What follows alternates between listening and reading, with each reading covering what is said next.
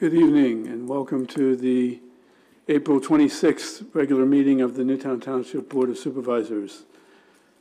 Um, Glad to be here this evening, I hope you are too. And uh, why don't we start with a moment of silence as is customary.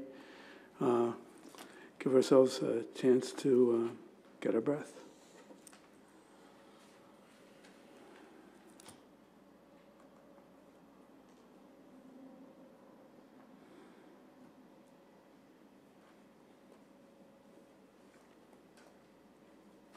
Thank you very much.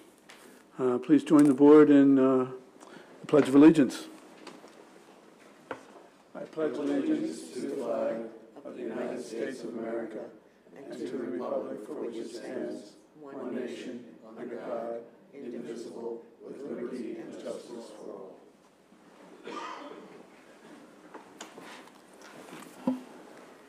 All right. Uh, Mr. Lewis, are there any changes to the agenda this evening? No changes, Mr. Chairman. Okay.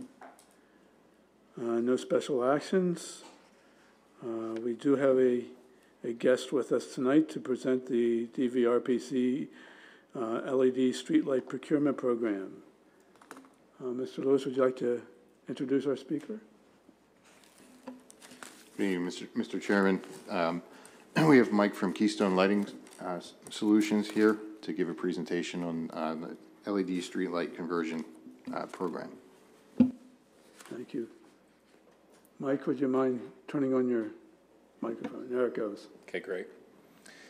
Great, thanks for having me. Um, I'm here to talk to you about the uh, Delaware Valley Regional Planning Commission Regional Streetlight Procurement Program. It's a lighting, streetlight upgrading program that many municipalities have participated in uh, over the last five years. And we've been working with you uh, to put together a feasibility study so you could see the opportunity associated with that and decide if you want to move on to uh, phase two, which is the design phase of the program. So we can go on to the, uh, uh, the next slide and the next slide. Great.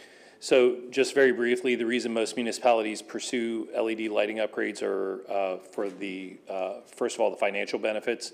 There's significant operating cost savings, both in energy and maintenance savings, uh, that help pay for the project. Um, Unlike many other projects that you have to do and expend money for, uh, the streetlight program is actually going to pay you back over time, or at least pay for itself uh, over time uh, through those operating cost savings. LEDs are also much more controllable, and so we can do things like keep light from going up into the sky, which is important for dark sky considerations. Uh, and it basically allows us to get the light where it needs to be onto the roadways and uh, sidewalks for uh, safe uh, for safety purposes. So we can go on to the next slide. The reason that DVRPC developed this program is they thought many municipalities could benefit by coming together, pulling their resources and leveraging the scale of uh, procurement, really, of LED street lighting projects.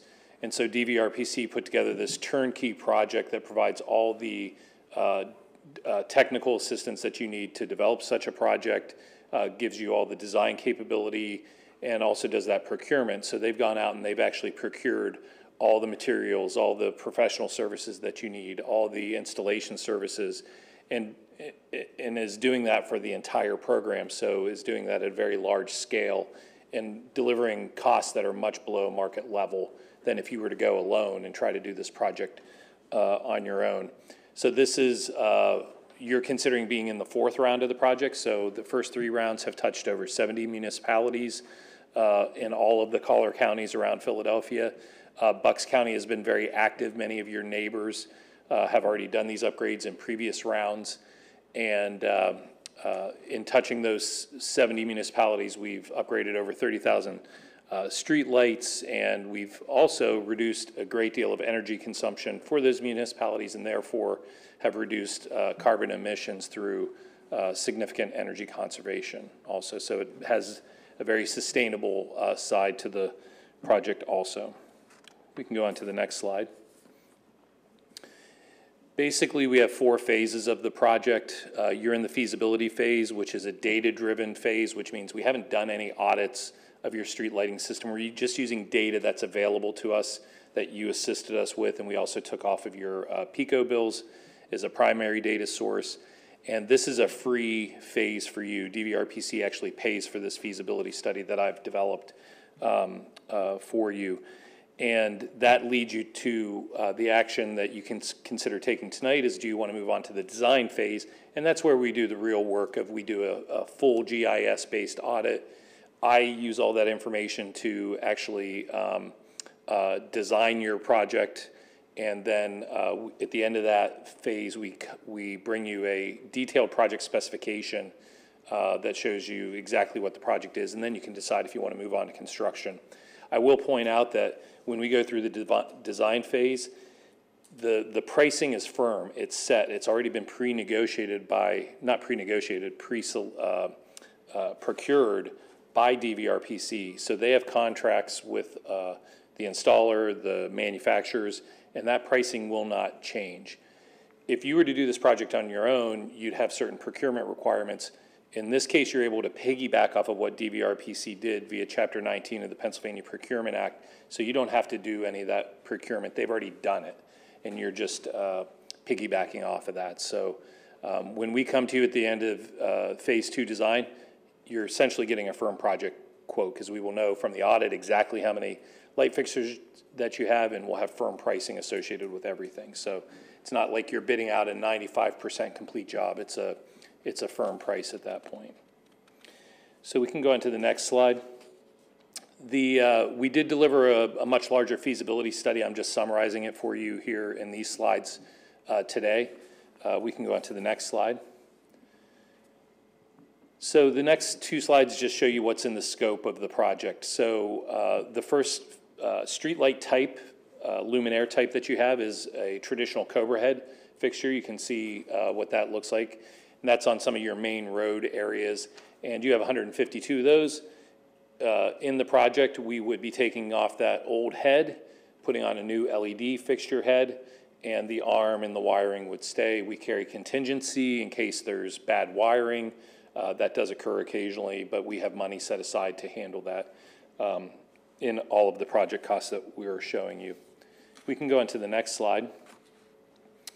This is really where the bulk of your project is. You have a lot of decorative fixtures. We call these four-sided colonial fixtures in all of your residential areas. Uh, As you can see, you have almost 1,300 of those. And we, again, would basically take off uh, the head, and you actually have two versions of it, which I'm showing there on the right. We would take off that head, put on the new uh, LED head, and um, basically the arm would stay. We don't change the pole or anything like that.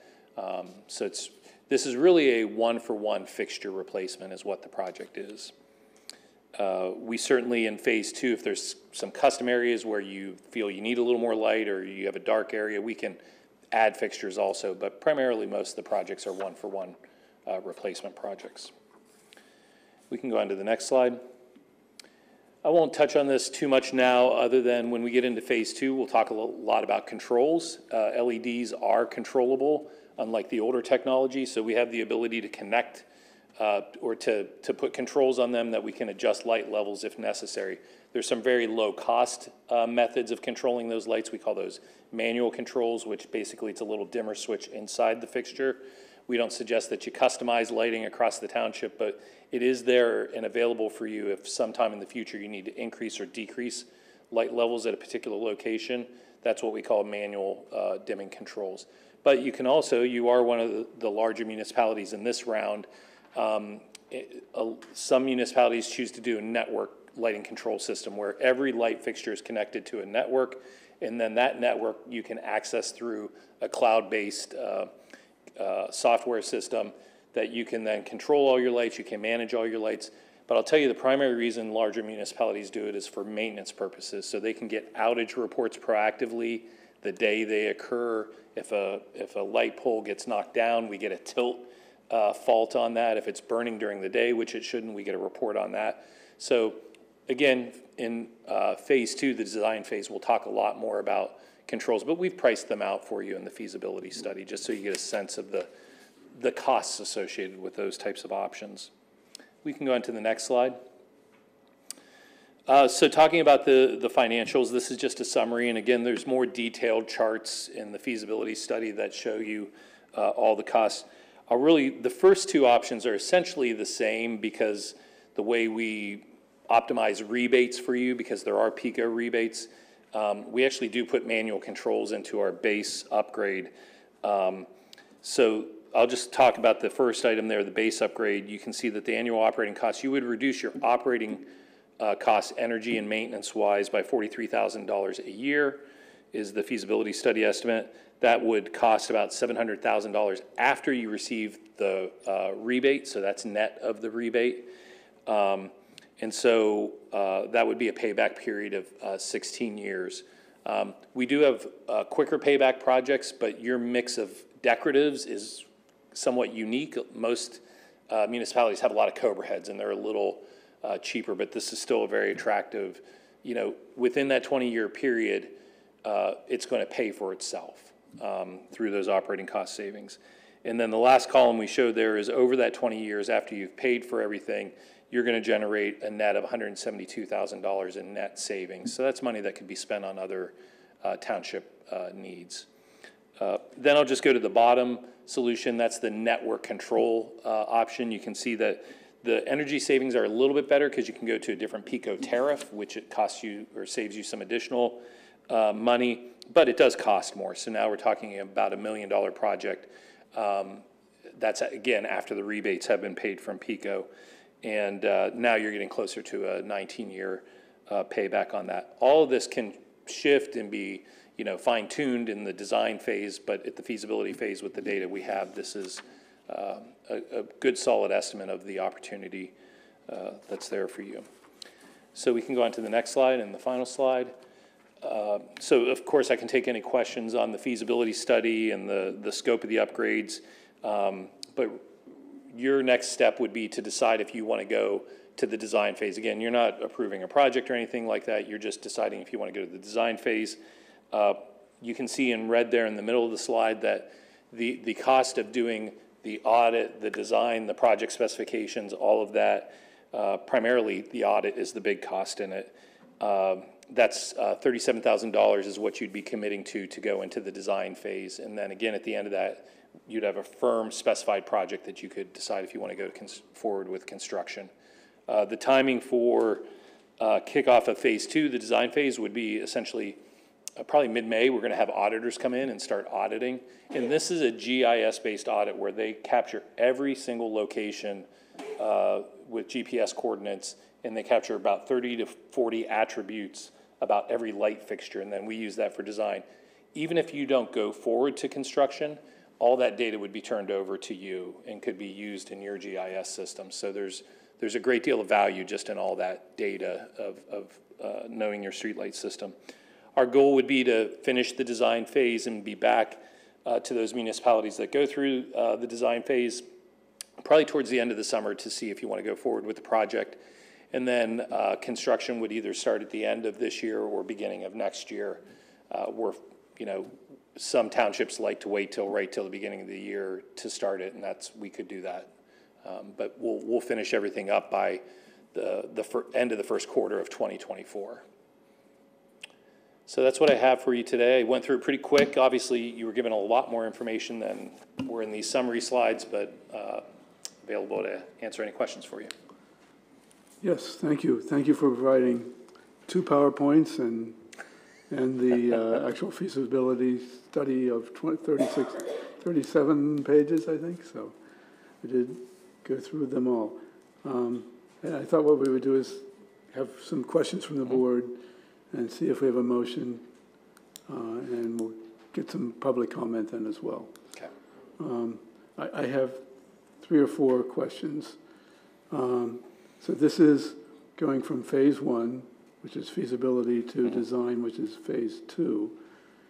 Um, And it also looks like it, it will take a good three months if, if we decide to go on to construction at that point. Um, it Looks like it's, it's a good three months, 70, 71 work days or whatever. Mhm. Um, So what, I, I- I guess the question I have is what happens when you come back to us with phase two, uh, results, the data and everything? Yeah, at the end of phase two, you're gonna get a document that is very similar looking to the feasibility study and another presentation similar, almost exactly the same format, but everything will be firmed up. We will have done the audit and we'll know exactly how many, uh, streetlights you have of which types. And usually we find a few more or a few less. The PECO numbers are never exactly correct. They're pretty good, but, yeah. And, and we also will talk to you if there's any other uh, special needs that you have that you want us to address in the project. We would integrate those into the final project specification and, um, yeah, so basically you'd get another deliverable very similar to what you got this time around. And It will probably be, probably be pretty close to the uh, 699 that you're, six $699,000 that you're um, projecting as a cost. Yeah, all the firm pricing that I mentioned you'd see in phase two are actually integrated into the feasibility study too. The only thing that really changes the number is if we find more streetlights. Okay. So at a unit cost basis, it would be the same firm unit prices. Just a couple more. Mhm. Uh, I, I was a little bit disappointed with the sixteen-year payback. I was hoping for more like ten or twelve. Mhm. But, uh, um, let me, let me ask you about the, the maintenance during that time. How, how much, what would be the difference, I guess, because we're paying maintenance now, uh, to maintain our lights? Uh, And how does that compare to what the, the maintenance for LED lights? And how, how long does an LED light, you Yep. know, last? Yeah, I'll answer that a couple ways. In the financials, we do assume some maintenance savings. We're very conservative in that. Uh, the chart that I showed, there's actually a more detailed version of that where I break out the operating costs into the energy cost savings and the maintenance savings. Um, but, but you'll see the majority of the cost savings are in the energy side. Yes. Uh, So, uh, but probably a better way to answer the question is, if you, if you were to buy the older style fixture that you have installed now, you basically get a one-year warranty on that fixture, um, if you were to just buy it from a supply house. Uh, All the LED product, this is a reflection of what, of what they think the life is, the manufacturers. They give a ten-year warranty, and that doesn't mean that they think the useful life is ten years when they give a ten-year warranty, there's, they have to have two X, three X that life to, uh, to have that warranty be set at ten years. If, if they thought they were only getting fifteen years, they'd lose a lot of money by having a ten-year warranty. So, uh, the manufacturer data says that that LED fixture has a forty-year life. I don't like to quote that. I say that comfortably, you've got a twenty to thirty-year, uh, lighting fixture, um, that, that you're going to, uh, be installing. But uh, you also get a one-year labor and product warranty from the installers. So for that, when LEDs fail, they tend to fail quickly. And so usually it's even when, and it's a very, very low percentage, but it's usually when the contractor may still be on site, uh, maybe on the day they install it and they just take it out and ship it back, get, get a new one in and there's no, no cost associated with that. So for one year, we just call the contractor who takes care of everything, but you do have that ten-year product warranty that parallels that and then goes beyond. At least in norm, normal, normal circumstances, then the, the life of the LED light is past the payback period Yes, in normal, Absolutely. normal situations. we, we choose a twenty-year time frame to do all of our financials for all of our projects because we know that that life, you know, that there's savings beyond that point.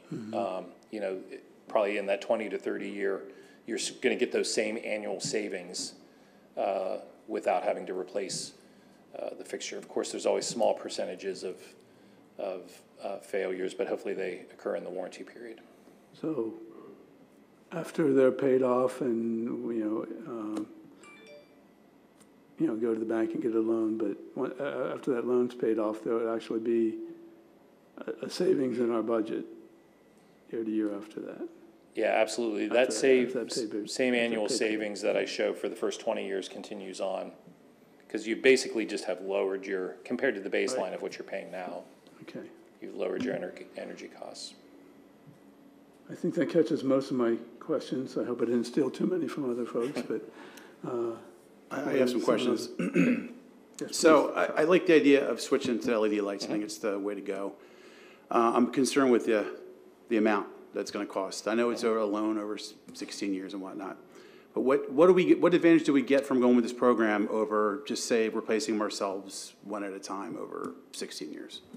Yeah, you're gonna pay much, much less by doing it through our program compared to going on your own. Uh, some municipalities look at things like, oh, I'll try to use COSTARS through the state of Pennsylvania.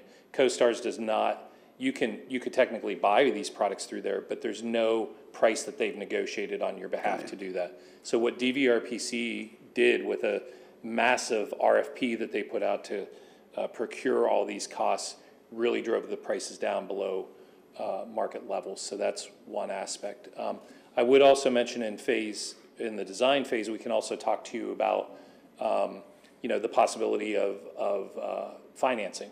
So you could, actually could have a lot of the, um, you could have a loan where uh, a lot of the loan payments would be paid with the savings. So your actual uh, annual outlay might be a lot less. We already did talk to, we use Delval um, when we do those financing arrangements.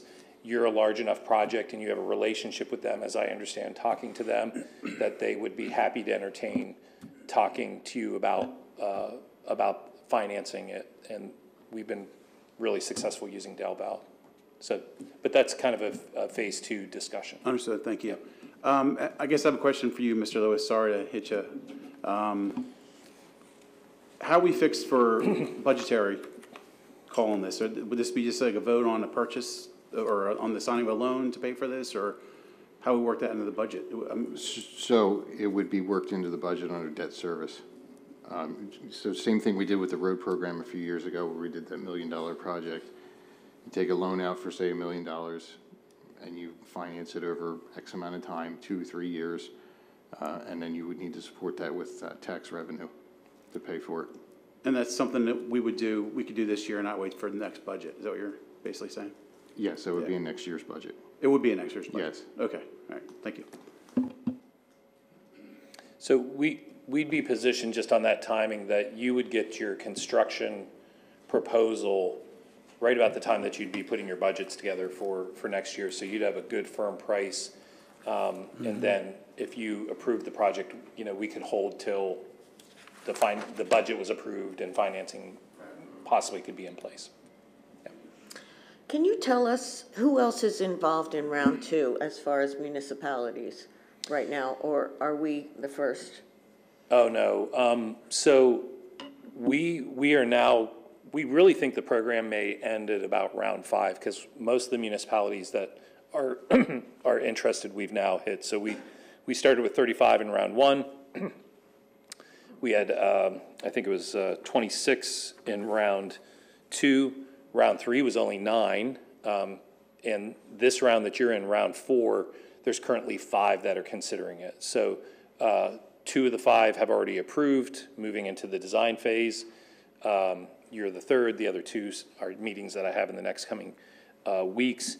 In terms of some of your neighbors, I was trying to go from memory, writing most of them down, but Newtown Borough, Bensalem, Tullytown, Middletown, New Britain, Buckingham, Langhorne Manor, Ivyland, New Hope, Penndel are just the Bucks County, uh, projects. I- There might be one or two there, more that I missed there, so. Um, but they were spread out over round one through round three. Yep.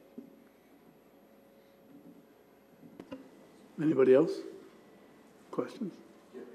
Go ahead. Yes, please, Mr. Calabro. Okay.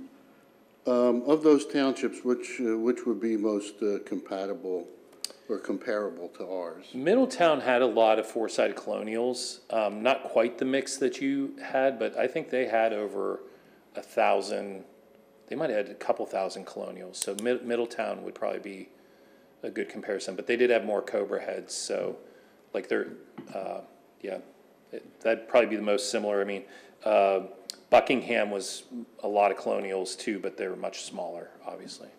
Okay. What would, what would, in a roundabout number, the total cost be to the township to go with this program? Eight hundred thousand, a million, how- how, much? Yes, is- so on the financial slide, um, I would say that the range, and it's after you get the rebate back. And let me just explain that. PECO gives you a rebate, and probably within about a month or two of the end of construction, you get a check from PECO to offset your project costs. Um, so that's why we show you the, the net savings, because usually it all happens within a month of, of the final billing, um, that occurs.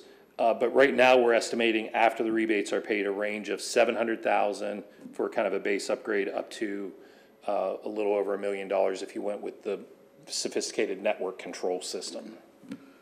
And, well, I just, uh, at, at seven hundred thousand, if we were to have to increase the debt service tax, would we be increasing our taxes by at least two mils in that case? It depends on the term and the life of the loan, but it's something like that, yes. Okay. But I do just want to point out, you will have operating cost savings in other parts of your budget offsetting a, a large portion of the loan payments. Okay. If, if you did financing.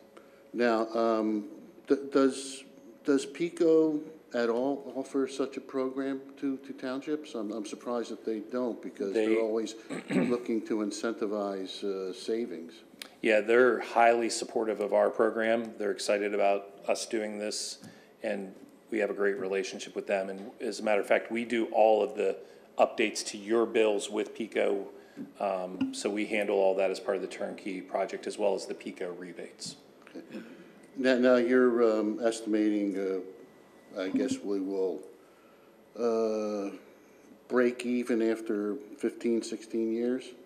Sixteen years with like the base Okay. upgrade. Now, during the course of that period, have you factored in, I guess, increases in electricity costs? If we do not, which is conservative, if you would have increases in electricity costs, the, the payback would go down because your energy savings would be greater. Your project costs would not go up, so. I mean, I mean, you're, are, are you, are you trying to tell us that electricity costs will go down?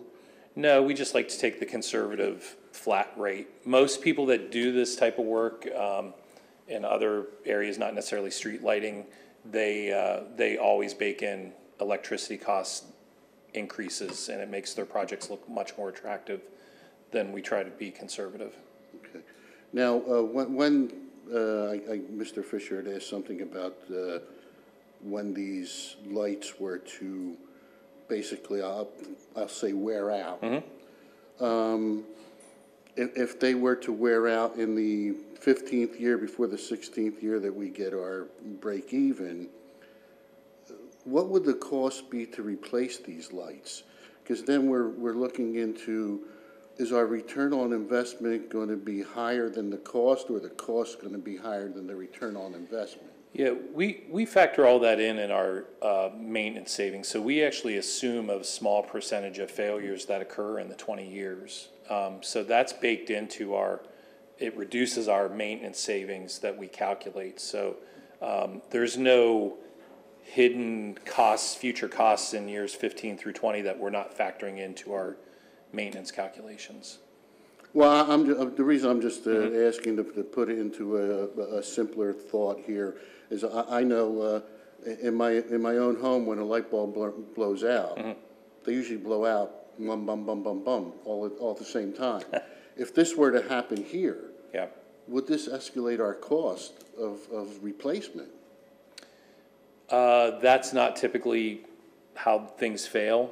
Um, you know, at the year fifteen, you might have, a photo cell might fail and you might replace that, or a drive or a component of that LED fixture may fail and you may replace that. But you're, you're going out to every one of your light fixtures on average, I'd say once every two to four years, let's say three years.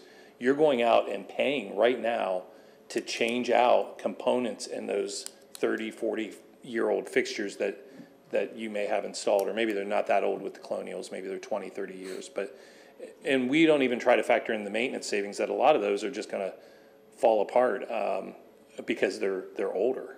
You know, they've been in, in their locations for quite a long time. So, I mean, I- I'm just, uh, just trying to put a little bit of uh, information here. Um, uh, Let's say hypothetically, it'll cost us a million dollars, which will be uh, three mills in tax increase. Um, uh, We don't, there's no uh, guarantee that the cost of electricity will not go up, which will also be an increase, what will cut into our savings. Um, The breakdown of the materials possibly could happen all at the same time. So in that one particular year, if we were to have a substantial amount of light bulbs or, or fixtures blow out, now we're, now we're into a cost factor of replacing them, um, which will dip into whatever our, our annual savings would be, which would dip into our return on investment. So, um, I, I, don't know, I, I just see a lot of variables here, um, that, I mean, you could be telling us in the long run, we're gonna save money up until a certain point. Then naturally, we have, we're gonna have repairs that we're gonna have to go back in to take care of. And looking out twenty years, I mean, everything goes up in price. So we don't know what the cost of even, of fixing this, a company coming out to fix this will be, unless you're guaranteeing us what the cost will be over the course of a, of a sixteen-year period. Yeah, for that very low percentage of failures that you'll have in the, let's say, fifteen-year, twenty-year timeframe, uh, the, the percentage, uh, of that, yeah, I can't tell you exactly what the repair cost is, but I, I do wanna say that, that it is a very low, uh, percentage that would be failing in that time frame because of the long life of the LEDs. But, uh, I also do wanna point out that if the energy rates go up, your actually, your savings go up. So that, that would be to your benefit, because you would have, you, you have a cost structure like this right now, consuming so many watts. We're gonna take it down to this, so if energy rates go up, this is a more vulnerable position your current state, so the savings would be greater. And I just do wanna mention one thing, one thing to kind of characterize this project. If you were a new township or a new development and you're installing lights, you're not installing, installing the old technology. LED really isn't a new technology, it's what's been installed, you know, for 10, 20 years in new developments. So we're just getting you up to the current state, it's just that you have a very old, like many municipalities, uh, you know, uh, infrastructure currently of your street lighting. So it, we're not, this isn't to some cutting edge technology, this is the standard technology. So, uh, right now, we're just, uh, considering approving going into phase two, where you will come back with a lot more analysis of the numbers. That's correct. And there's, is no raising of any taxes that's required to get into phase two, correct? Uh, we already have forty thousand dollars in the budget for getting into phase two, and that should cover the cost, right? There's forty thousand budgeted under the capital plan, that's correct. Thank you. Yeah, and I'm not a municipal tax expert, but I, you do have to factor in the savings that are gonna be generated. Cause there's, unlike paving or something like that, there's a financial savings that you're getting that offsets project costs. And when we come to, when we come to phase three, at the end of phase two, when we come to phase, phase three, uh, will we have, have choices of whether we, is that when we make the choice about the single monitoring, um, the, ability to change the wattage, or the, not the wattage, but the brightness? Yeah, we Between designed the that, basic and the, and the, uh, s- network? we would, you would decide that in phase two. We can still present multiple options to you at the end of phase two, at the design phase. But then when you decide to move into construction, you'd be selecting, you know, we're doing the base upgrade or we're doing the network controls. So that's the decision point would be when you're deciding to go on to construction. Our, our proposal will continue to show you multiple options there. Very good.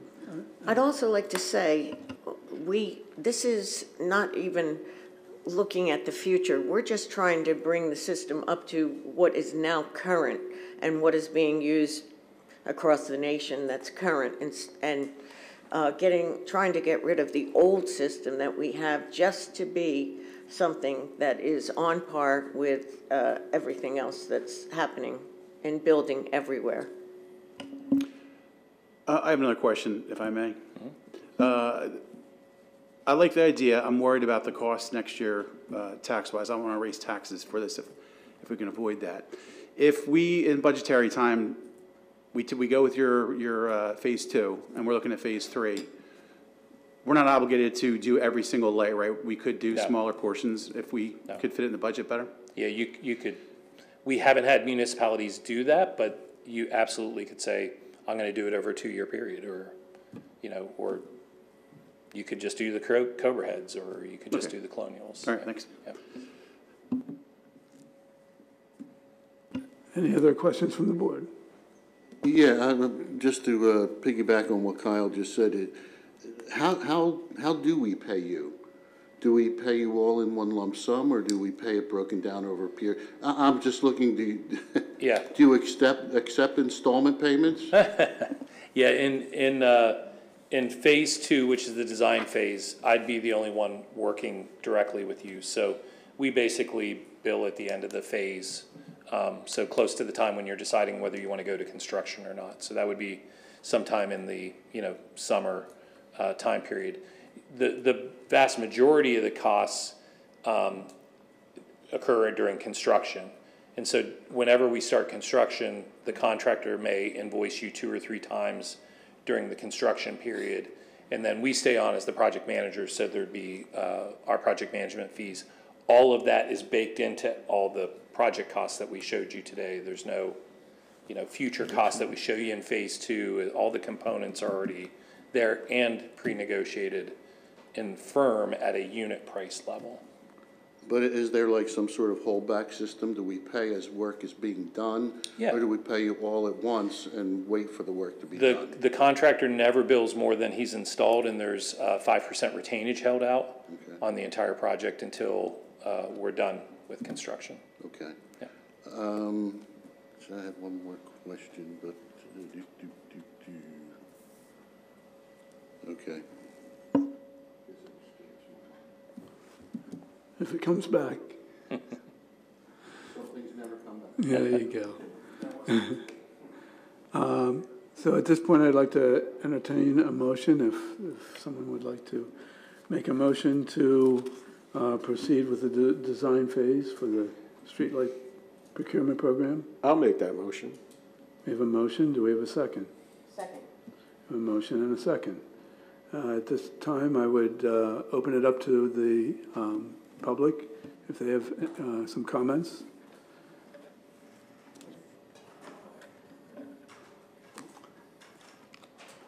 Just make your way to the podium, I'll I'll vamp while you do that.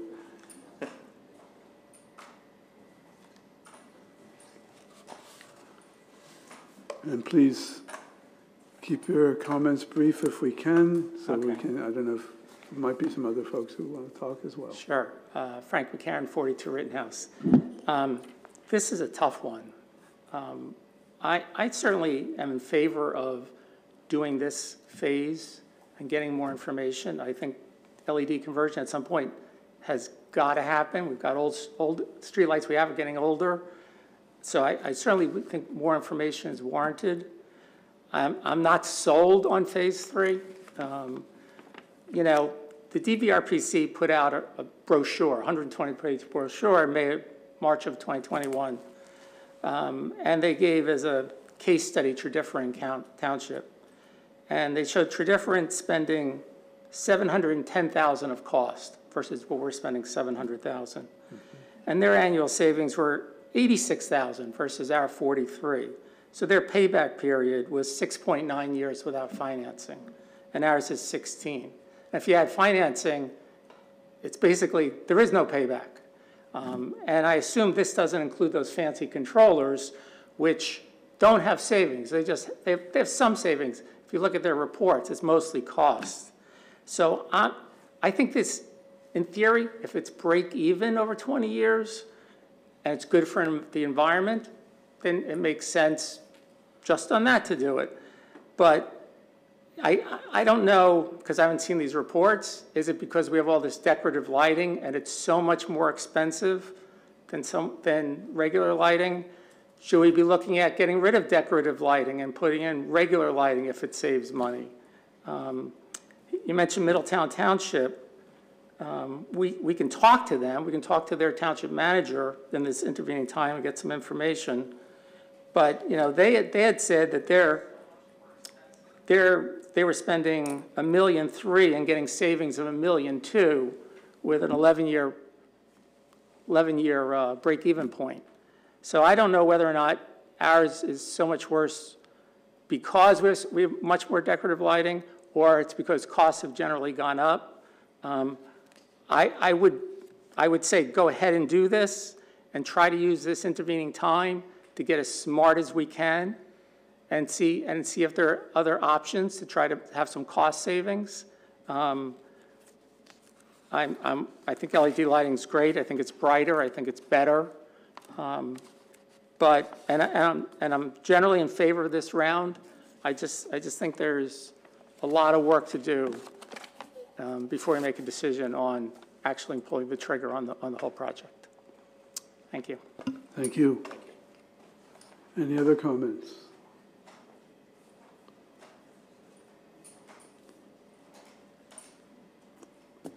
Seeing none, um, I'll call the question. All those in favor of proceeding to the design phase of the streetlight procurement program, say aye. Aye. Any opposed? Motion carries five zero. Okay. Thanks, I look forward to working with you. We'll see you again. Okay. Thank you. Thank you. Okay. That brings us to our first round of public comment. Uh, Anyone in attendance who would like to give public comment, please come to the microphone, state your name and uh, where, you- where you live in the township. And Good evening. Christensen. I'm, I'm Terry Christensen. I live at uh, 67 Kirkwood Drive in the township.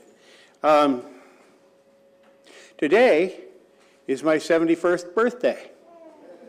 So what that means, among other things, is that I'm part of the fastest growing demographic in this area. Our 2009 comprehensive plan talked about our aging population. Most recent comprehensive plan talked about our most, our rapidly aging population. The research we did at Friends Village says that within, between 2010 and 2020, the number of people aged 65 or older in Bucks County jumped by 86%. My concern is that we are not being proactive enough in serving that population. Uh, And I have a couple of things I'd, I'd like to, the board to consider over time. I don't expect any decision uh, in the immediate future. One is, as we move forward with different projects like the village overlay, I'd like us to keep an age-friendly mindset uh, in, in, as part of our deliberations. Age-friendly doesn't mean it's just age-friendly for seniors. Um, it means it's age-friendly for families, it's age-friendly for everybody. That means broader pa- walkways, that means placing benches here and there. Um, also, hopefully, there's uh, an increase, our public transportation becomes more robust. The other thing I would suggest is we should consider doing what the Commonwealth of Pennsylvania has done, the city of Philadelphia, and other municipalities. I, I could list a bunch of them, but I, if I had a better, uh, if I had my computer in front of me, but we should consider forming a commission, a municipal commission on aging that specifically looks at, at these projects. And you could have a liaison to the planning commission, have a liaison to other committees. I understand it's difficult to get uh, people to serve on committees. That's, that's been a problem. I believe that this is a, a trenchant enough issue for people my age that it wouldn't be that difficult to recruit people. Um, and I would certainly do everything I could uh, in those regards. So I'd, um, moving forward, I'd ask you to keep that in mind. Thank you. Thank you very much. I'm right there with you. I need a bench. Uh, Okay.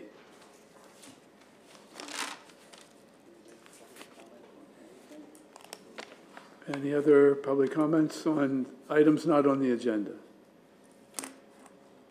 Okay. Uh, We have reports of boards and committees. and commissions? Uh, Peggy Driscoll is here for the Planning Commission. Hi, good evening. Peggy Driscoll, Chair of the Township Planning Commission, here to give a report on our April 18th meeting. Uh, The Planning Commission reviewed two zoning hearing board applications and a draft of a new JMZO amendment for an overlay in the LI-OLI zoning district. Uh, First, we had Newtown Shopping Center, 3 West Road, uh, the Blue Point Grill. The applicant is seeking relief to increase impervious surface by 0.10% in the PC Plan Commercial District to build a 600, 976 square foot outdoor paver patio. The applicant briefly discussed the changes in seating by enlarging the patio. We recognize that the increased seating will also possibly impact traffic and parking, but this would be addressed at conditional use hearing. The commission recommends that the Board of Supervisors not oppose this de minimis increase in impervious surface. Uh, Next, we had DeLuca at 7 70 Twining Bridge Road. Uh, The applicants are seeking to subdivide a 3.08 acre parcel into two lots for single-family homes. The existing buildings on the property are to be demolished. And other needed variances include relief of minimum lit, lot width, setbacks, and building envelope size. Attorney Joe Blackburn discussed the past history of the parcel, which has been a subject of the zoning hear, zoning hearing a few years ago. The members primarily had concerns about the possible historic significance of the buildings. Deteriorated, uh, they did acknowledge that the condition of the farmhouse, the rental apartment, and the barn is very deteriorated, but will want input from the Joint Historic Commission before any decisions on demolition or preservation are made. The members voted six to three to recommend that the board not oppose the zoning hearing board application. Those opposed to the application cited the need to uphold, uphold the joint comprehensive plan's goals of preserving the character of the CM zoning district, our historic assets, and our open space. Next, we had a discussion in the overlay district. Uh, The Bucks County Planning Commission members, Jeremy Stoff and Lisa Wolf, were in attendance to discuss their draft for an overlay district in our current business commons. We're looking for ways to revitalize the commons to both preserve the business office district and address the recent changes in the business environment where workers are increasingly working from home. The Bucks County Planning Commission examined introducing residential uses and expanding permitted business uses in an overlay that would keep the residential uses internal to the commons. The draft ordinance addresses size of the residential buildings, setbacks, and other requirements, including outdoor amenities and commercial uses within the residential structures, a mixed use. The Commons currently has a maximum building height of 50 feet, which could accommodate five stories. So we discussed a ratio called floor area, area ratio, they call it FAR, to help us better control the number of units per building. We asked that the ordinance be revised to strictly limit the height to 50 feet on residential uses, so the towers, mechanicals, parapets, etc., are included in the 50 feet. We discussed a requirement of providing 5% public space, which would include pocket parks, benches, and outdoor eating areas. We were in agreement that some kind of uniform guidelines and design standards might be needed for these amenities. We are optimistic that we will be able to add some residential uses to the commons to help us attract and retain younger residents to the area. The Bucks County Planning Commission will return with a revised draft at some point over the summer as our schedule permits. And that was all we had. Any questions? Uh, I have a question. Uh, With the residential mixed use, you're talking about new buildings, not buildings that are already there that would be converted to apartment buildings. and- Well, you know, when we first started reviewing this, our goal was to retro retrofit or infill existing buildings. I don't think new construction was really at the top of the list, even though we did discuss it. Um, I think our main goal is to revitalize the commons and add some uses um, for the workers that are there um, to kind of create an area where they don't have to leave the commons, maybe some restaurant uses, um, services, things like that. But um, you're saying that I mean, they showed a lot of images of new buildings, uh, three-story buildings. We, you were talking a whole lot about that. I know. So there are no, the buildings that are currently there are more than three stories, or, and they don't look like residential buildings that were shown by the Bucks County Planning Commission. So I think they have a completely different idea. I, I agree, and we intend to speak to them at our next meeting. I'll probably speak to them before our next meeting. I mean, our goal with the overlay was to retrofit and infill existing buildings in the commons and to allow more service, services to the tenants in there. Right, and, but adding more residential use in apartment buildings, there's other proposals that have come our way, uh, adding uh, apartments and attracting uh, younger people, and we just heard from Mr. Christensen about what, what can we do for older people, and I don't know if that impacts the business commons. You're talking about, um, sounds like you're talking about housing for current workers who are currently working there. Um, i- Is that I don't think we can at this? zero in on who exactly would be there. I think our general feeling was um, existing buildings, um, you know, retail or offices on the first floor and maybe residential on one or two floors above. I don't think creating new buildings in there was on the, I don't think that's what we felt at the beginning we wanted to do in the Bucks County Planning Commission. I mean, we're not looking to put something in there like uh, a promenade. Well, that's what the Bucks County Planning Commission placed before you in terms of its imagery, which really, you know, looked more exciting than uh, converting an office building with apartments on the second and third floors. I mean, you- you- they were talking about alleyways, offsets, and things like that relating to new buildings. They weren't talking about retrofitting uh, office buildings. I understand that. I think we kind of got off course a little bit there.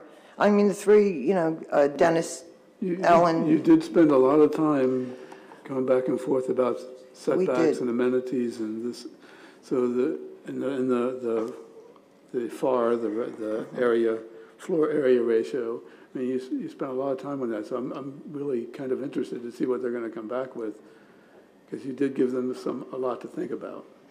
we did, we, I, I, I think uh, we had a lot of discussion. I don't know if they understand that we're not looking to develop a so-called promenade in there. We want to, you know, our goal is to retrofit and infill. and bring some people in who then can maybe work in the business commons as well, and, and maybe do some recreation, maybe get some meals. Right, right, absolutely. So I, we're going to speak to the Planning Commission, the Bucks County Planning Commission, and I, I think they're going a little off course from where we want to go. All right, thank you. Any other questions? I just, I don't see anybody that's developing apartments wanting to take the existing blueprint of what's in the business commons and using those buildings for that. I mean, they're obviously gonna have to change that to make it appealing, uh, for residences. Uh, you know what I mean? So. Yeah. Is that part of what we're talking about, is, uh, if they need to take down those, uh, some of those warehouse-type buildings and put up, uh, something residential that's, uh, not dense? We would be okay with that, or? I think that's something that we need to discuss. I mean, we have retrofitted some buildings where the pizza place is. I mean, that was, I believe, a warehouse at one point. Curtiss-Wright was a warehouse that they switched over to offices, and so we can't. we have control over what goes on in there, and I think we, we need a lot more discussion with the Bucks County Planning Commission and kind of direct them to where our vision is, but, you know, it is possible, it is possible to retrofit those buildings. Are we dependent upon them uh, for, you know, direction? Or are they dependent upon us for direction, you know, to tell them where to go? I, Hopefully, it's us trying to tell them what we want, right? absolutely, yeah, I mean, we, we pay them for their services, so they, they're, uh, they're paid to do, I guess, what we direct them to do. Thank you. Yes.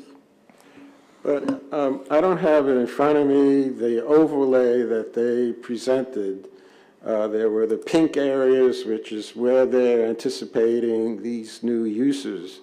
And if, I may be incorrect, but not a lot of it overlays these office buildings. It's more in the uh, vacant areas uh, across Penn's Trail, for example, uh, and uh, other areas that currently, you know, are underutilized in terms of buildings. So I think they have a completely different idea of uh, how they want to design this, or recommend to us anyway, so. I agree, we have a lot, we have a lot more work to do. I think uh, at the last meeting, like I said, you were all there, and it just got, it got a little off the path of where we wanted to go, and uh, a few of the members of planning, we've discussed that, so.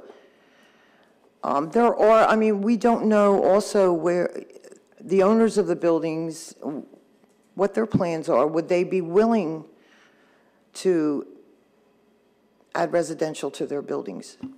Or could we somehow incentivize it?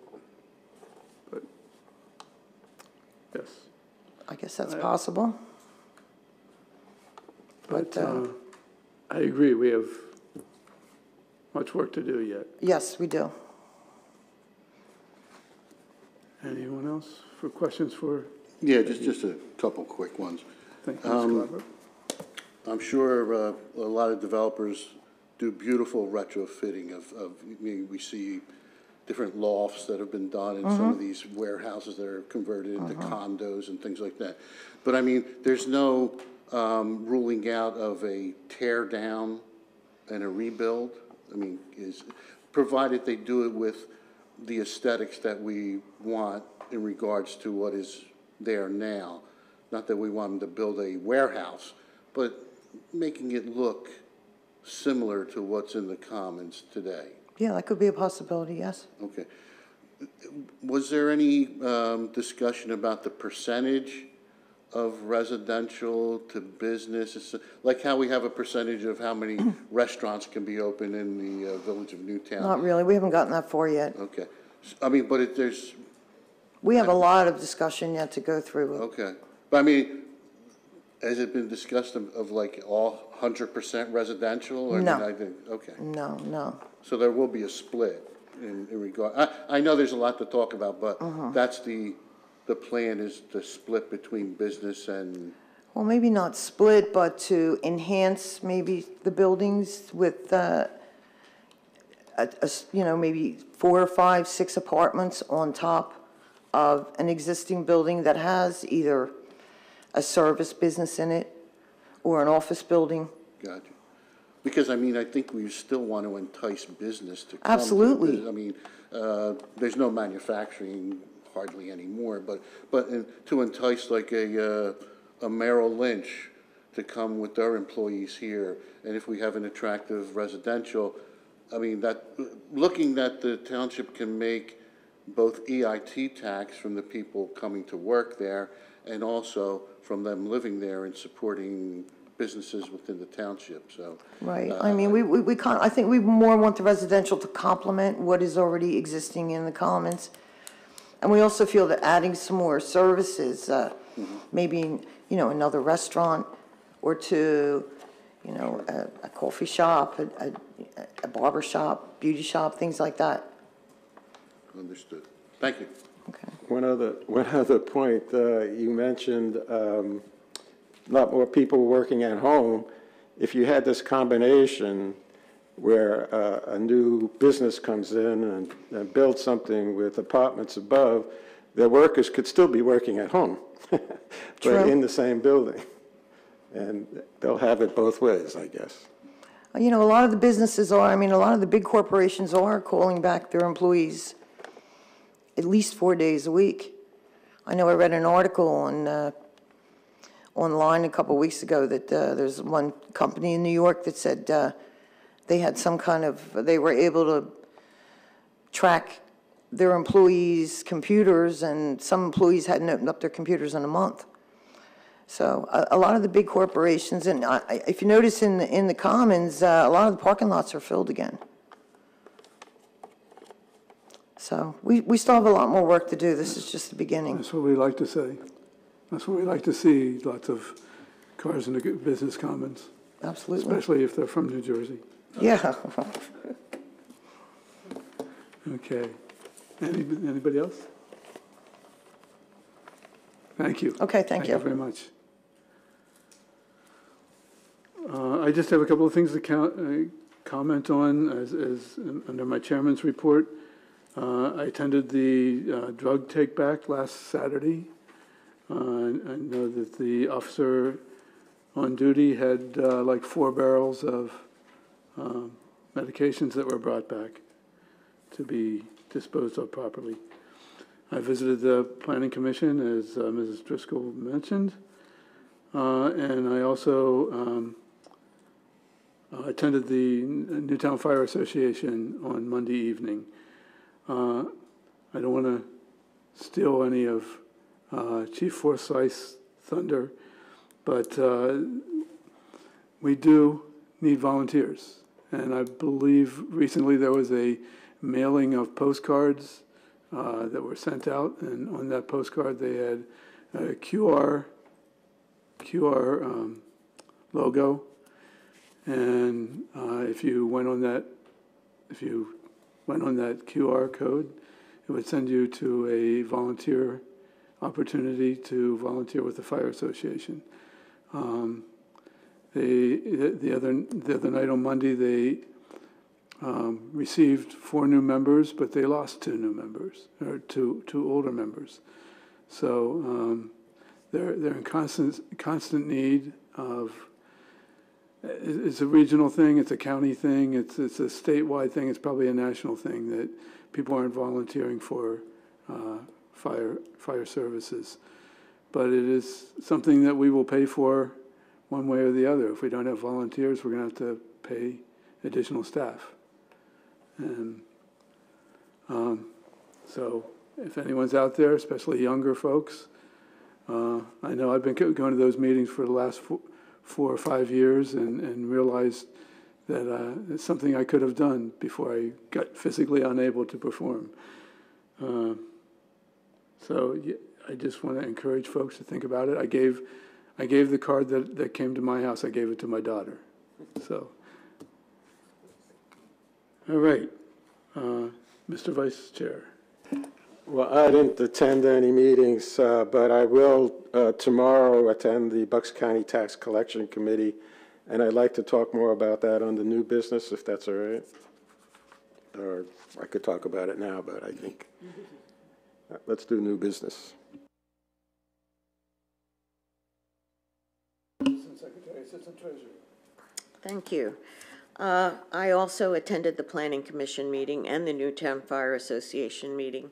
But what, one thing that happened on Saturday night, which was Earth Day evening, um, the New- Newtown Township EAC Environmental Group and Newtown Borough got together to present a forum with five extremely knowledgeable people in their fields, including Faran Savitz from Penn Environment and Single-Use Plastics, Alyssa Sarkovsky from Ecosystems about reusable plastics, Bowman's Wildflower Preserve uh, about pollinators and native plants, and the Bucks County Food Alliance about buying locally.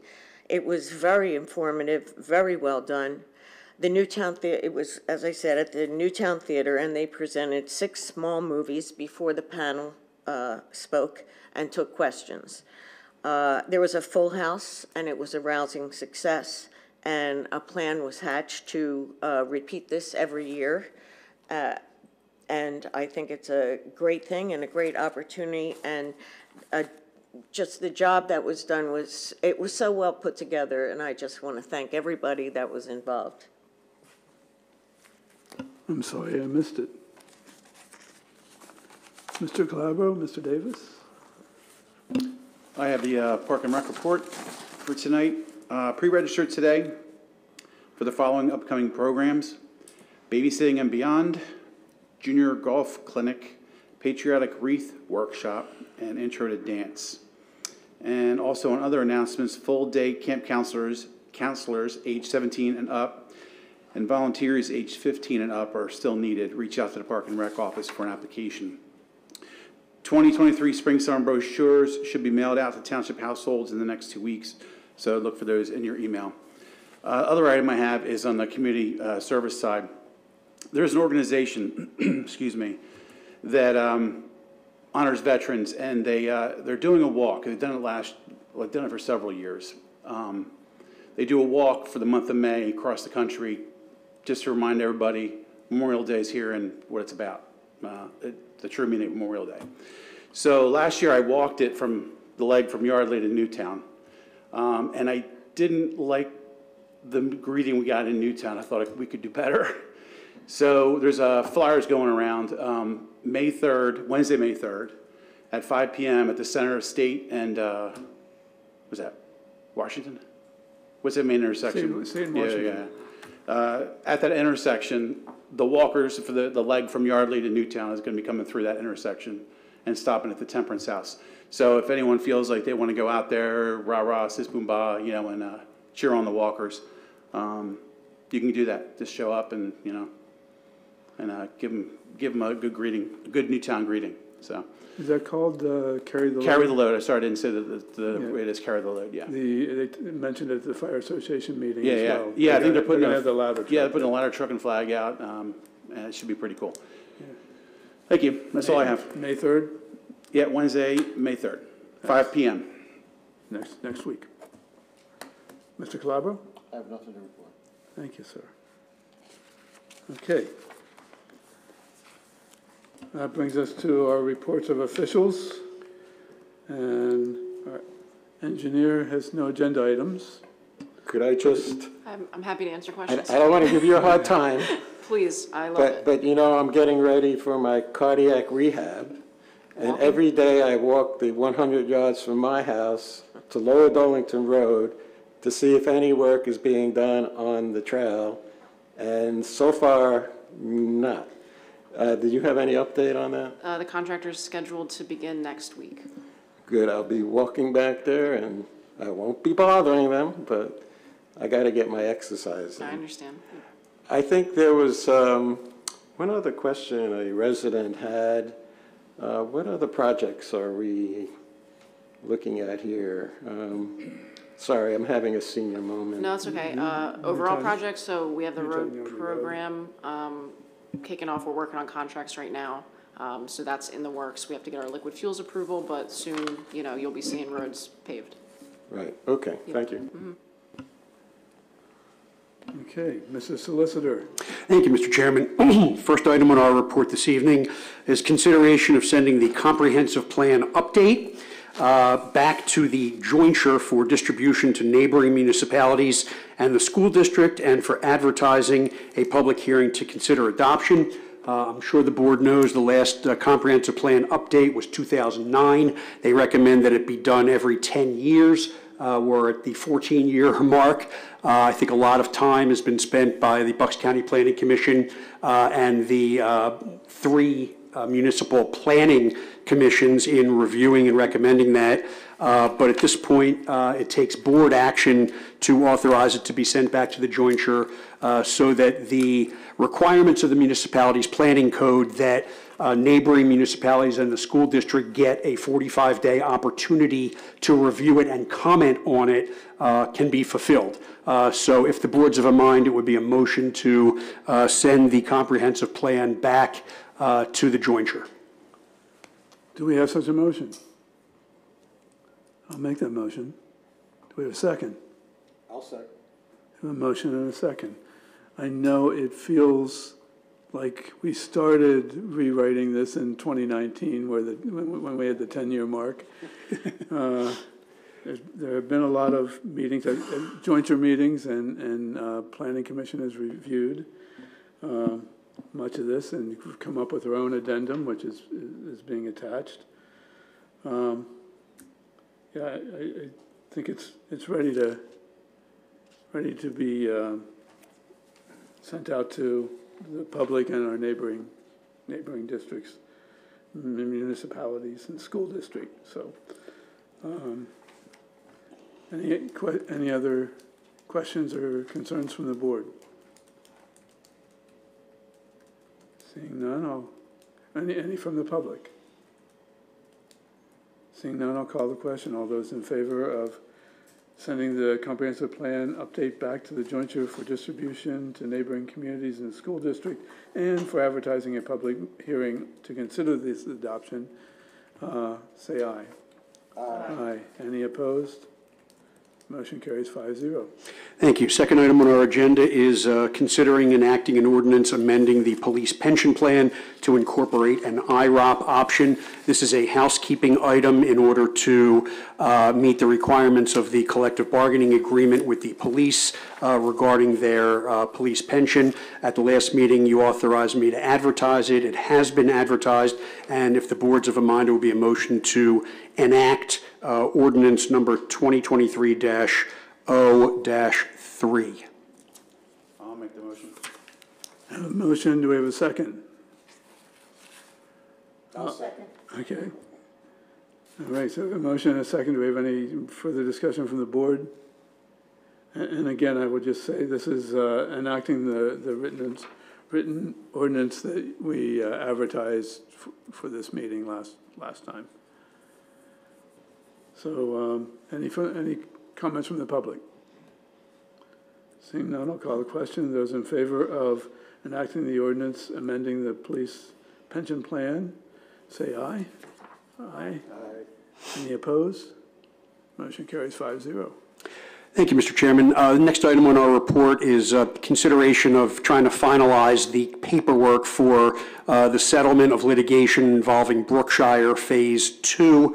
Uh, This is actually only a, uh, there's only one lot associated uh, with this development in Newtown. However, uh, when it was being developed, the developer uh, adversely impacted uh, two uh, Newtown residents' driveways, and we wanted to have that uh, repaired uh, for those residents. Uh, We ultimately drew down um, the money, and, well, we didn't draw it down, we settled with them, and they paid us the money to have that work done, and that work is uh, nearing completion, but there was a lot of administrative paperwork that we had to do as part of uh, the settlement, um, namely putting into effect all of the requirements of the final plan. And there were certain parcels on that plan, there were road rights of way that had to be accepted into dedication by the township. There was uh, roads that were vacated by the township previously that had to be conveyed to the adjoining property owners. There were uh, sewer easements and there were open space parcels. I have prepared all of the uh, paperwork uh, for that, and I would ask the board for a motion to adopt a resolution accepting dedication of the public improvements in Brookshire Phase Two and authorizing uh, the required conveyances pursuant to the final plan of Brookshire Phase Two. I'll make the motion. The motion, do we have a second? I'll second it. A mo- Have a motion and a second. Do we have any uh, questions for the solicitor? Any co- conversation from the board? Any comments from the public? Seeing none, I'll call the question. All those in favor of adopting this resolution, say aye. Aye. Any opposed? Motion carries five zero. Thank you. Final uh, item is consideration of the two zoning hearing board applications that you heard um, Mrs. Driscoll um, you know, provide a a recap on to the board. Uh, Does the board wish to take uh, a position on either of those applications? I am not in favor of approving the two houses on 70 um, Twining Bridge Road because this is a conservation management district which uh, specifies one uh, home per three acres, and this is two homes per three acres, and I think uh, I heard from uh, local residents, at least one local resident, who has purchased a house on three acres and was told he could never, you know, add another, divide up his property because of the conservation management. And here we have an application where they want to do just that. And um, I would make a motion that we at least send a letter opposing uh, this application on the basis of it's in violation of the conservation management uh, zoning. I'll second that motion. Okay, we have a motion and a second. Um, All right. um, I would say that I, I would not want to send the, send a letter or, or, or send the solicitor. Um, I'm aware from talking to some of the neighbors that they're okay with two houses. Um, When it, when it comes to when it comes to demolition, that- that, that's something we can talk about in the future, uh, whether we want to have an inspection and see if there's, a- if there's any historical value to the property. Um, But that's something that I believe would come, when, when in land development, uh, we'd have to authorize a demolition. Uh, So leave it open to others here. I, I am more concerned with upholding our zoning. That's the main issue I have. I concur. I, I see nothing wrong with uh, a letter being sent, provided Mr. Sander doesn't charge us per letter. No, just by word, Mr. By Clough. word? Yeah, word, okay. please. No, I, I, I, I, I think that would be a, a good thing to do, is uh, send a letter in defense of the township. Correct? To keep the zoning, Yeah. okay? I hear you. I agree. Okay. Uh, So we've uh, had comments from the board. Do we have comments from the public? You're welcome on this issue. Yep. My name's John McIntyre. Please. My name's John McIntyre. I live at 74 Twining Bridge, and I really would like if the board would oppose this changing. Uh, When I bought my property 36 years ago, I guess it was, I came to the township down in the other building there. I don't remember the gentleman I spoke to, but I asked him about the possibilities of those plots, there were three of them, if they could be subdivided at a later date. And he pretty much flat out told me, no, that would never happen. That was the main reason I bought mine, because we bought that because we wanted the space around us and the other properties to have space around them. I, I'm along with most of the other people, we would like to see that place cleaned up. Because it's a, it's, it's just an eyesore. But I don't see a need to have to change the zoning in order to make that happen. If they put one house on there, it'll change the whole appearance of the corner. You don't need to put two. My wife and I will be the ones that'll take the blunt of all the work that gets done there because I border that property on two sides. And looking out my front windows, it's not gonna be a pleasant thing to be looking at these backyards. You never know what's going back there. There's gonna be swimming pools, toys, sheds, God knows what else. And the other thing that concerns me is, once houses go in there, you got driveways, sidewalks and all that, now you're adding more impervious surface, and all the water comes downhill to me.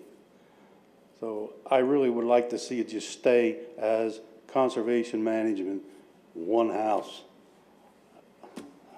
So I, I just ask if you could possibly, you know, oppose to changing the zoning on there. Well, Yeah, Just, just a point of clarification, Mr. Chairman, if I may. Mr. Yes. The, the request is not to change the zoning. The zoning will remain Well- CM. The request is to build two homes where you're only allowed one. Right. The remainder of the zoning will remain CM. So I just want you to understand that. It's the setbacks and Right, things I, like I that. understand that, Right. yeah. Right, so by sending a letter, we are opposing it and letting the zoning hearing board decide. Obviously, it's their decision, but we are sending a letter to oppose it. And you made a point about, well, these houses come in, uh, and there's, on the plan, there's no uh, swimming pool, there's no decks, and other things that uh, homeowners will come to the zoning hearing board afterwards and want a variance or Right. to, to do that. And like you said, it's going to even make uh, the, a bad situation worse. Right. Okay, thank you. Okay, thank you. Yeah, come on forward.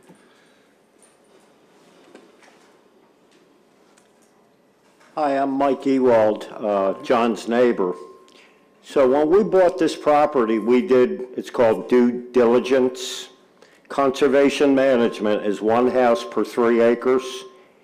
Him and I both adhered to that. You know what we just went through with Toll Brothers? What happens if this guy proposing 88 Twining Bridge gets it changed? What's Toll gonna say? When we denied that and you denied it? I think it could be a possible lawsuit on Toll's part. Be very careful with it. I agree it is an eyesore, but it's still conservation management. Thank you. I guess I'm going to third that motion. Um, Look, we, you spent a lot of time fighting Toll Brothers to maintain the rural character of that road for that section, right? You wouldn't let them build entrances onto Twining Bridge, try to keep it, maintain the character. I understand it's an old dumpy thing, and yeah, why not knock it down and have two nice houses and more EIT because it's two houses, not one. But it's a slippery slope. You do that, then someone else comes. No offense, but you guys are old. You know, somebody buys their houses, knock them down, put two more. And before you know it, it's, it's, it, it's just going to be completely that way. So I, I just think you just hold the line right now if you can. Thank you. All right, thank you, Ms. McCarron. Any other comments? All right. uh, Seeing none, hearing none, uh, call the question. Those in favor of sending a letter to the zoning hearing board um, with our views, uh, say aye. Aye. Any opposed? Aye. Nay. One opposed. One opposed. Uh, Thank you, Mr. Chairman. I do want to note that um, a- all of the folks who spoke tonight would be encouraged to attend the zoning hearing board hearing, where the decision is really being made. Yes.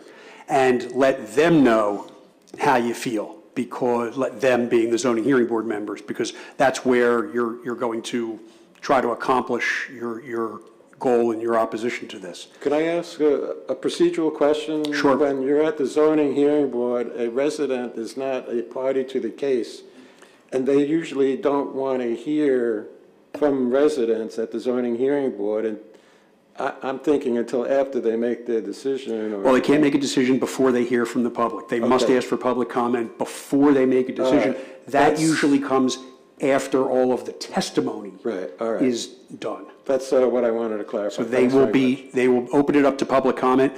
Plus, if you're, you seem to be adjacent neighbors, you could become parties to that, and you can call your own witnesses, you can cross-examine the witnesses of the applicant, uh, and you can appeal a decision that you don't like. Uh, So that's what party status is all about. You may want to avail yourself uh, of that if you're immediate uh, or, or or close-by neighbors of this uh, proposed uh, two homes. And usually, the zoning hearing board would ask if there's anybody that wishes to be a party to it.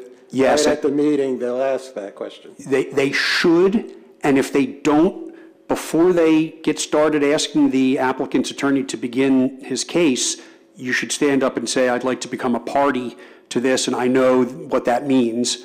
And if you want to, I'm not saying it, if you want to, it would just give you an opportunity if you wanted to call any of your neighbors as witnesses. If you wanted to testify, you'll, you'll be able to make a statement.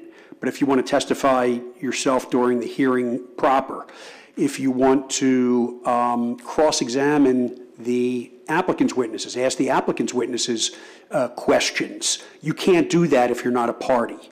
So suggestion, not saying it has to be done, but suggestion. And you don't have to have legal representation to do that. That's correct. But there's nothing to stop them from making public comment, Correct. okay? You don't have to be a party to speak after all the testimony is done. Okay, Thank you, Mr. Chairman. That concludes our report. very good. Uh, Mr. Manager, Thank you, Mr. Chairman. General fund balance this evening is five million fifty-seven thousand one hundred and ninety dollars. Plan expirations before the board with no action required.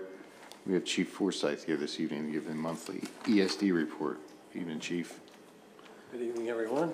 Good evening. And Chief, if I got anything wrong in what I said, you can correct me.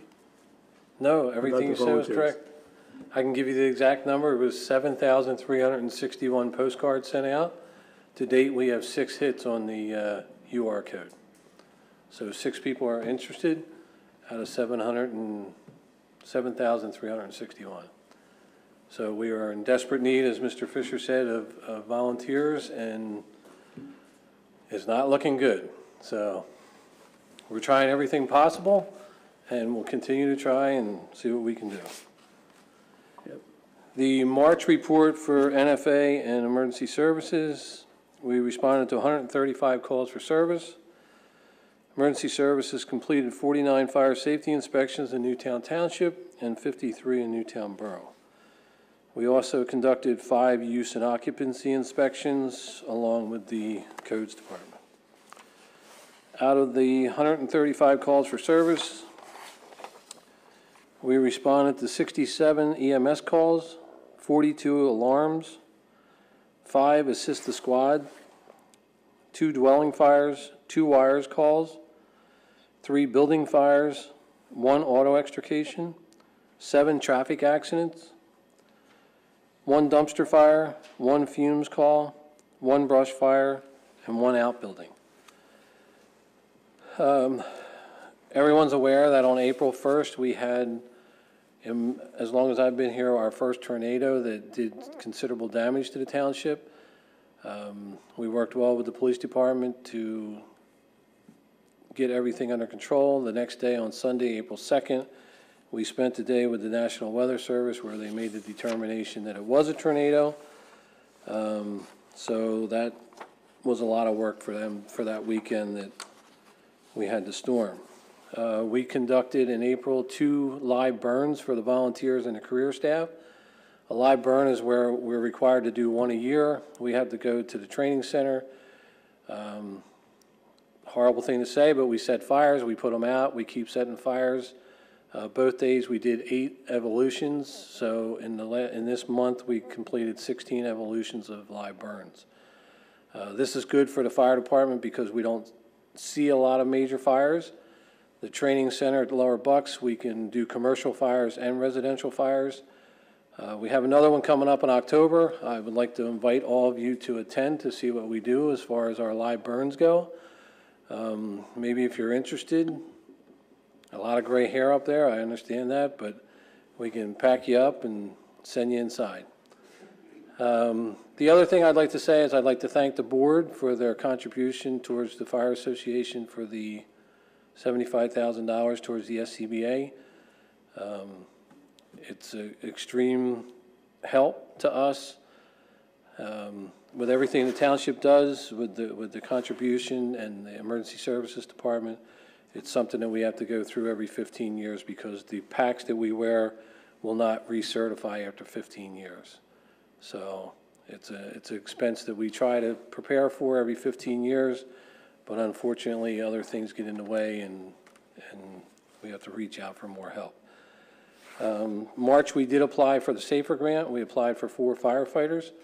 Hopefully, keep your fingers crossed, we're successful this year. I think with the budget changes we made with hiring Assistant Chief Weaver, I, I'm hopeful that that will make a impact on the, the, the peer group that, that looks at the grants and we get further and are successful in obtaining the grant. So that is my report for March. If you have any questions, I'd be more than happy to answer them. Chief, I was asking my neighbors, I live in Windermere, Raintree, about the postcards, and I don't know anybody there that has received one. And we have a lot of younger uh, families there. They're either young or they're old, me. Um, So I was wondering if, if they came there, because uh, everybody I talked to on my street, nobody received it.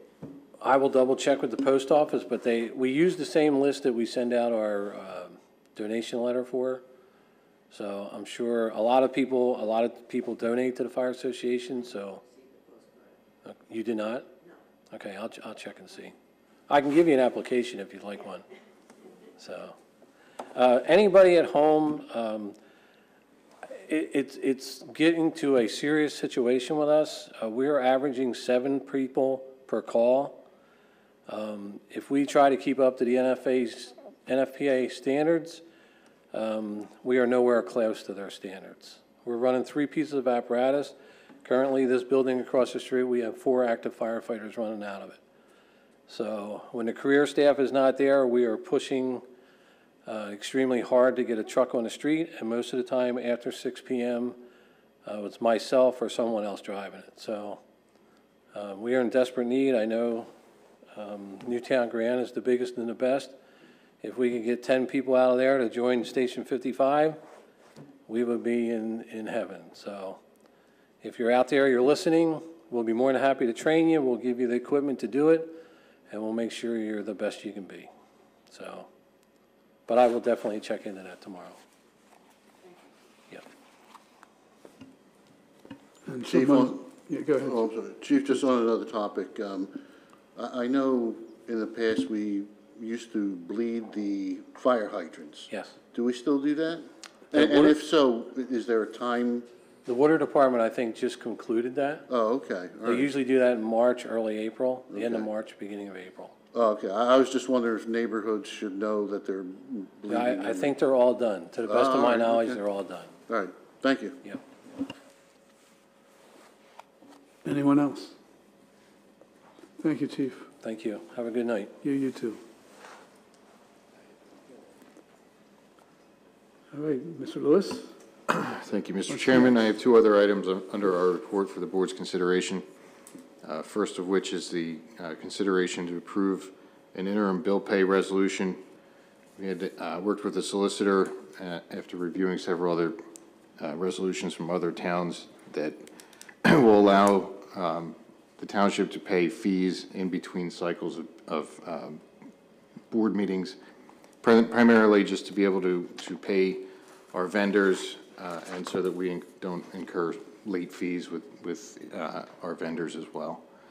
Uh, So the appropriate motion would be, um, motion to approve the interim pay, bill pay resolution, sorry. Do we have such a motion? So moved. Do we have a second? I'll second. We have a motion and a second. Uh, Any discussion from the board? Uh, I did have, I, I think you answered one of my questions, if other um, municipalities have uh, done this, Yes. and uh, is there any that you can name, or? Off the top of my head, I think it was up, there was Upper Saucon that we pulled one from. Um, I believe one was, was Middletown as well. Uh, We always like to follow Middletown's lead. They seem to be leading in a lot of things, like LED lighting and so on. Uh, You had a, an Exhibit A where you listed a, a bunch of uh, things, uh, invoices that might be handled this way. And I'm a a little bit surprised about um, Parks and Recreation Program third-party instructors. These people are charging us late fees?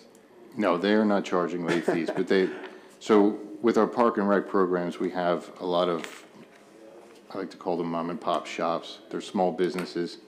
And if we get into the summer months and we start canceling the second meetings of the month, they go for over a month without being paid. And, and again, they're, they're local Right. people. Mostly Mom residents. Okay, I feel sorry for them, and uh, they should get paid, but, you know, if people, if companies are going to start charging us late fees for being a month late, then they don't understand how uh, municipalities work, and, you know, maybe we could find competitors that won't do that, I don't know. But I'm not, I'm not opposed to this, I'm just making a statement. I do have a question also. Okay. Uh, Are are we going to be keeping track on which payments went out this, through this method? Or Yes. it's all going to be tracked No, it'll all clearly be documented. All right. I, I think you've got to ratify them Yep. At your next meeting. Got you. All right, thank you. I well, I understand that, but I didn't want to make thrown in with the rest of the bills. I'm not sure. No, they'll, they'll be Yeah, which is separated out. which. Okay, thank you. the next agenda item, we Right. might have an impact on that if we, if we get, uh, if we get the new software, there might be a way to create a column to make sure that it- that those are identified, that we, they're ratifications as opposed to bill payments. So, that was my thought. I'm sorry. I have a question for the uh, solicitor in regards to um, how do we not violate the sunshine law?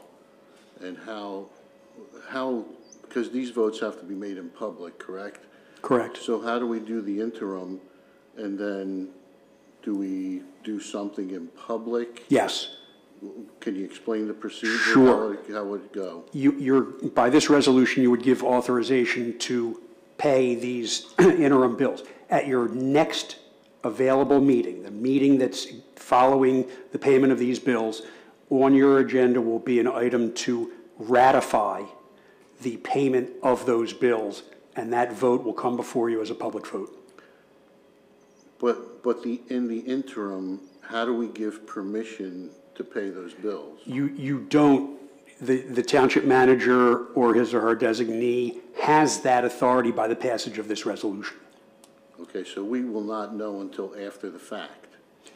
Correct, although I would suggest that the township manager or the assistant manager may be able to advise you if and when that happens, so you know that it's happening. Okay. Any other questions? Um, We have a motion and a second. Any, um, let me ask for public comment. Any public comment? Seeing none, I'll call the question. All those in favor of approving the interim bill payment re- resolution, say aye. Aye. Any opposed? Motion carries five zero. One final item under our report, Mr. Chairman. Finally, we have um, the the information that we need to proceed with the new software for the the codes and zoning department, uh, along with uh, our finance departments. Um, Dallas Data Systems uh, is the vendor uh, for the purchase of a program called Cassell, um, which is a financial software that is eons above and beyond what we're operating with at the moment. Uh, They provided a uh, quote of $68,455. This money will be taken from the American Rescue Fund, and we had initially uh, allocated $100,000 under that fund for the purchase of this system. So the appropriate motion would be authorization to execute the agreement with Dallas Data Systems Incorporated for the purchase of the Cassell software in the amount of $68,455 from the American Rescue Fund. Do we have such a motion? I'll make that motion. We have a second? I'll second. Have a motion and a second. Any uh, further discussion with the board? And again, I'll I'll just repeat it for emphasis that this was budgeted for $100,000. And it's um, 68, so there there's a savings. Now, how does the annual upgrades support? It's- That'll be budgeted under professional services. And is there a, a time limit on that? How many years forward, or just Time ongoing? limit, I- if the duration of the contract? Yeah. It will, it'll renew a- annually until we terminate, if we ever terminate. Okay. Well, the last software we had for a long, long time, so. Uh, It looks it. Okay, um, any comment from the public? Seeing, seeing none, um, call the question. All those in favor of executing the agreement with Dallas Data Software, Da- Dallas Data Systems for the purchase of Cassell software, software from the ARPA fund, say aye. Aye. Any opposed? Motion carries five zero. That's all I have under my report. Thank you, Mr. Chair. Mr. Lewis, I I have one uh, question regarding the Public Works report that you probably can answer. Uh, It says that the Roberts Ridge Playground Equipment issue was caution taped off and reported to Megan Prus- Prusinski. What what was that all about? There's some damage to the play structure. From uh, vandals? Vandalism, yes. And has that been taken care of? It's in the process, yes. Oh, That's too bad, thank you. I just want to add to that, that their vandals are damaging the trees in the park, Roberts Ridge Park, as well as the playground. So just an FYI. Okay. Okay, Going to minutes, bills, and reports, yes. I'd like to make a motion to approve the minutes of the April 12th Board of Supervisors meeting. We have a motion, do we have a second? Second. A motion and a second, any questions from the board? Any from the public? Seeing none, I'll call the question. All those in favor of accepting the minutes of April 12th, say aye. Aye. Any opposed? Motion carries five zero. Like to make a motion to pay our bills in the amount of $396,772.96. We have a motion, do we have a second? Second. We have a motion and a second, thank you. Uh, Any further discussion with the board? Any from the public? Seeing none, I'll call the question. All those in favor of paying our bills as found in the April 26 bills list, say aye. Aye. Any opposed? Motion carries five zero.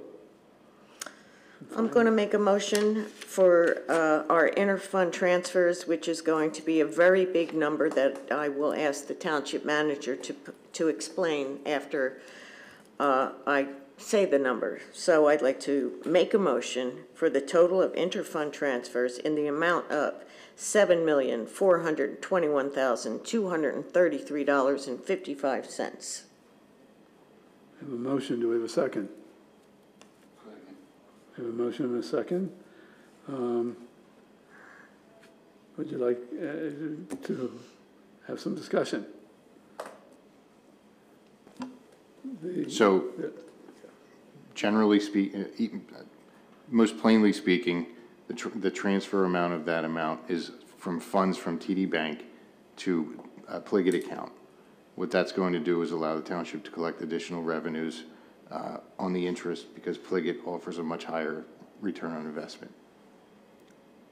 Thank you. Does that answer the question? It does? So we're getting out of TD Bank? Not totally, but yes. Okay. I know someone's going to love that. All right, so we have a motion, a second, we've had some discussion. Any further discussion from the board? Any from the public? Seeing none, I'll call the question. All those in favor of the interfund transfers as found on the bills April 26, 2023 bills list, say aye. Aye. Any opposed? Motion carries 5-0. That brings us to our second round of interfund, of, inter- I wish there was a second round of interfund transfers. Uh, second round of public comment. Uh, please, uh, come to the podium and state your name. John DeApril, Newtown Grant, biggest and the best. Um, Now that you approved the, uh, the idea for the um, LED streetlights, it's about time that you stop the hypocritical thing about uh, businesses having LED lights in the township. Thank you.